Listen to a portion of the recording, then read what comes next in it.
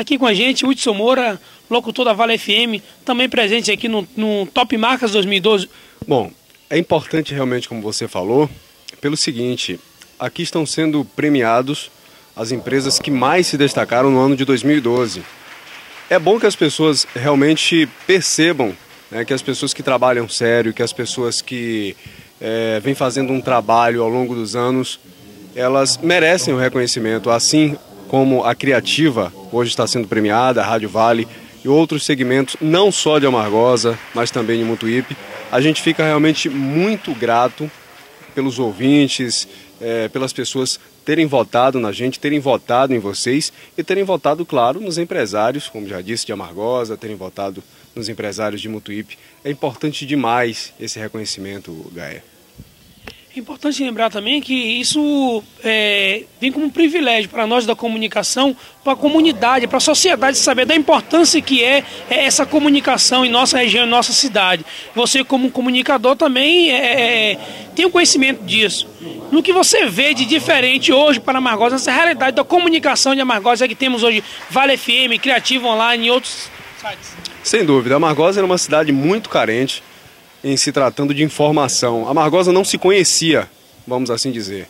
E com a chegada da Criativa, que vem fazendo um trabalho forte na região, e com a chegada da Rádio Vale, com o programa jornalístico que a gente tem todos os dias pela manhã, e agora com a apresentação de J. Braga, o programa Voz do Vale, a Margosa se ouve mais, a região se ouve mais.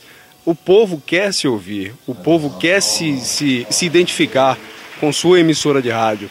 A Rádio Vale veio para isso, veio trazer o diferencial, assim como a Criativa também veio trazer esse diferencial.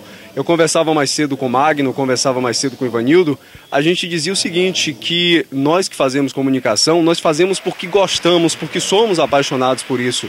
É, não é um trabalho tão rentável quanto se pensa, é um trabalho mais para quem tem paixão mesmo pela coisa.